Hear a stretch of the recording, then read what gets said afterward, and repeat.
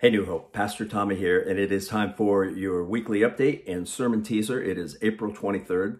And my guess is when you guys see these videos pop up, the first thing you wonder is, what are Tommy and Samuel doing all week? They just sit around lifting weights? No, we're working.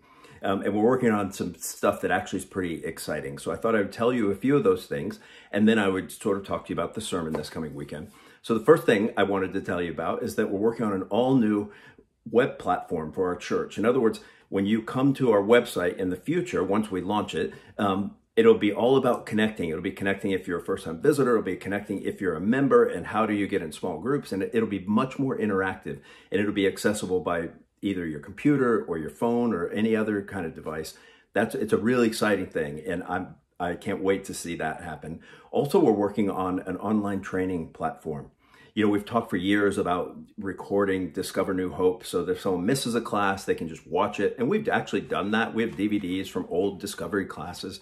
But this is a completely different thing. We're working on a platform now where the classes will be on the platform and they'll be listed and you can keep track of them. You'll log in and we can know your progress and we can do any kind of training there. We could do officer training, we could do children's ministry training, we could do safety training. Our imagination is the only limit. So I'm really excited about that. I'm also excited about the fall. Hopefully, I assume we'll be able to get together by the fall. And in the fall, we have planned an eight week study that revolves around the gospel in life.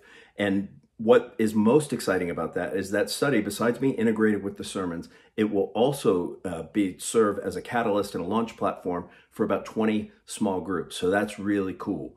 Also, if you want more updates, if you're thinking, gosh, do, do you guys talk about this stuff on a weekly basis? We do. You can get that by email if you don't. And the easiest way to do that is just to, to send an email to hello at newhopekent.org and ask someone to put you on that list. Some people have asked, how can we pray for you? And I think, you know, I was telling Judy last night, it's really interesting because I love learning. I am a learner. I love learning new things. And I, that just, that is one of my things. And yet I'm becoming more and more overwhelmed with the things that I have to learn to deal with life in the pandemic. Like I spent this morning um, basically setting up a recording studio in my basement, like hashtag things they don't teach you in seminary, right? So I that's the kind of stuff I'm sort of becoming overwhelmed with. And I told Judy, if if I'm becoming overwhelmed, it just makes me wonder how other people who are not as into learning, who are not into technology as I am, are feeling. And so I just ask that you pray that we would have resilience, that we would just have um, a, a, good spirit and a, and a, and a hopeful sort of countenance as we're moving forward through having to learn all of these things. Now, as far as the sermon teaser, this week we're heading into a new section on the Sermon on the Mount. And this week's section of the Sermon on the Mount begins, Jesus does something interesting because he takes good things like giving and praying, and he shows us how easily and how quickly we can turn those into bad things and become hypocrites.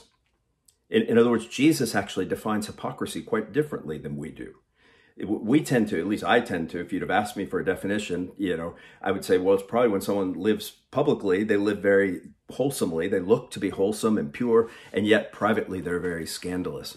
Jesus is actually going to take things a little bit deeper and to a whole nother level, if you know what I'm saying. So, how does Jesus define hypocrisy? Well, you need to show up at the live stream at Sunday at 10 a.m to find out. That's when we'll talk about it. So I look forward to seeing you then. And uh, make sure you share, subscribe, and like these posts in order to keep them going.